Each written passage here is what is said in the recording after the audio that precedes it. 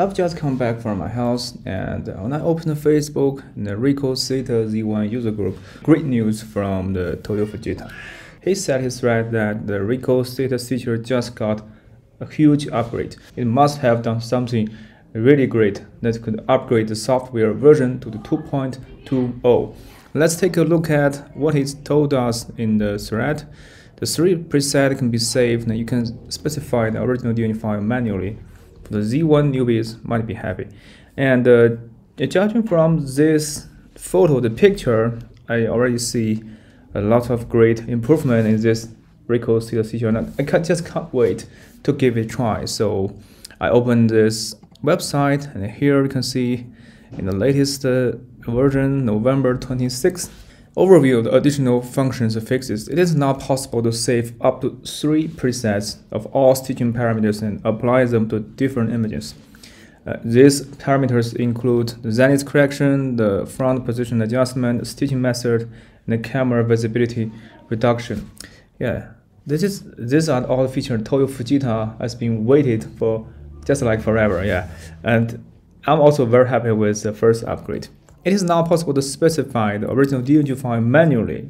Be careful, manually when it does not exist.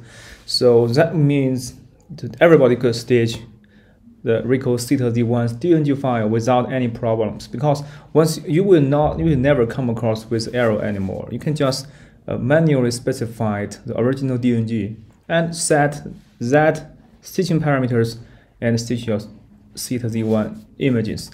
Uh, that means we don't have to cheat on the Ricoh Theta stitcher anymore. Install the latest Ricoh Theta stitcher on my MacBook, and now I'm gonna take some test shot with the Z1.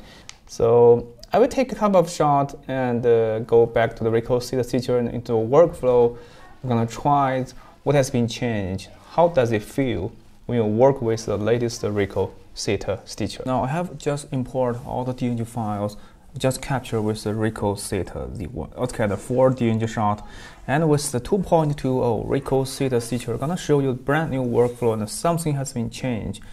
It just has better user experience. Here, go to the developer module, and uh, normally for demonstration purposes, I only select all of them to auto settings, uh, synchronize all the settings, select all of the files, right click, edit in the Ricoh Theta stitcher. The Lightroom will export in 16-bit TIFF format and import all these files into the Ricoh Theta stitcher. And now with the brand new Ricoh Theta stitcher, not only you can zoom out, have a better view, and uh, here with the help, you're gonna see this. I highly recommend you take a look at this user manual because there are something step-by-step -step tutorial on this all of settings and you can see can master this very quickly without my video actually and this this document is very well written and it just constantly upgrade together with the plugin. For the Z1, uh, the front lens is the one on the opposite side of the screen.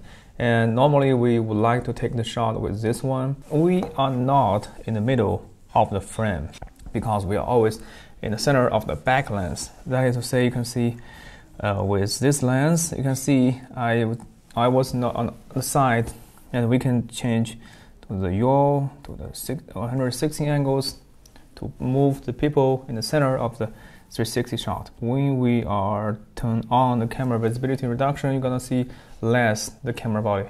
But we, if we are taking the shot directly on the table, we better turn it off for the best stitching result because when we turn on this reduction option, sometimes the stitching quality will downgrade. And stitching method is distance specified.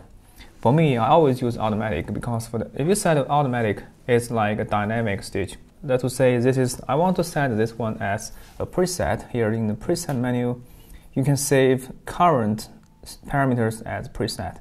You can save number one, Okay, enter preset name.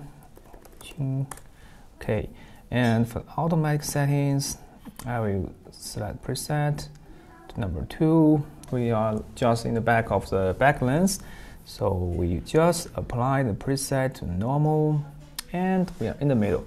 So next time you are taking a shot on the back of the lens, it will automatically put yourself right in the center of equirectangular image. So this is a, one of the use case of the preset because sometimes the front and back lens design is just not intuitive. It's just like conventional DSLR camera. A front lens is the one on the opposite side of screen.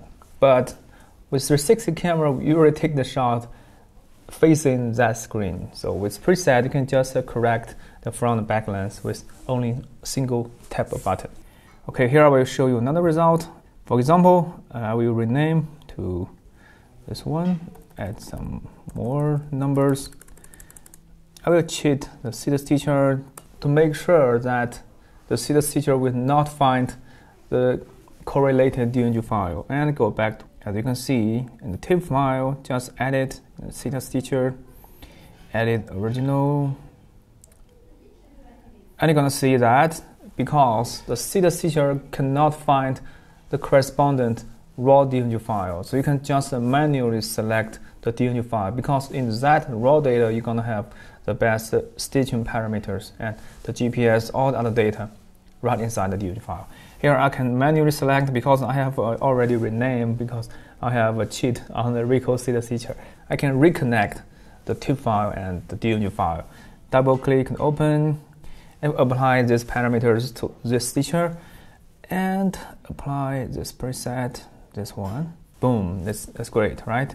And click on OK. For those of the real estate photographers with this huge update, it's gonna make your life a lot easier.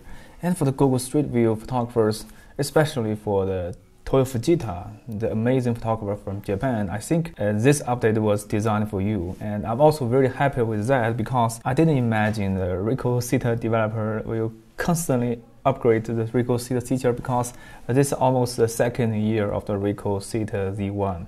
So theoretically speaking, the Ricoh Theta Z1 Mark II is on the way, and I also feel very proud to have the Ricoh Theta Z1 with constant upgrade. So every one of the features were designed for professional photographers will make their life a lot easier. And with the latest 2.20, it is a must-have upgrade for those of you who already have a Ricoh Theta Z1. And this plugin with the latest 2.20 will also make a Z1 more accessible, more user-friendly to a wide range of newbies or even potential customer for the Ricoh Theta Z1. Anyway, this is a huge update for the Ricoh Theta Z1 once again in November of 2020. Even after almost two years of its initial release, it will definitely remarks another milestones in the development of the Ricoh Theta Z1. I'm really happy with that, and I just can't wait to share this great news with you. I want to express my thanks to Toyo Fujita, this amazing photographer. I think he was definitely the hero behind this update. I'm so glad that all of these amazing users will work, collaborate together to make the Ricoh Theta Z1 better and better again and again. So see you next time. Bye.